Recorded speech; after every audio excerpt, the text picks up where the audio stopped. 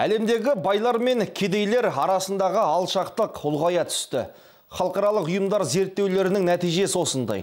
Мамандар 2016 жылы дәулетті адамдардың қазынасы еселене түсетінін айтады. Яғни олардың саны бүкіл халықтың бір пайызын құрайды. Үйімнің зерттеуіне қарағанда қазіргі уақытта миллиардерлердің қаржысы дүние жүзіндегі байлықтың 48 пайызын алып отыр. Ал келесі жылы бұл көрсеткіш тұңғыш рет 50 пайыздан асып кетуі мүмкін. Яғни бұл кедей адамдардың қаржы жинап, аяққа тік тұруына айтарлықтай кедергі. Оксфам үйімі бұл үрдісті тоқтату үшін алғашқы кезекте салықтан жалтарған ірі компаниялар мәселесімен айналысу керек деп отыр.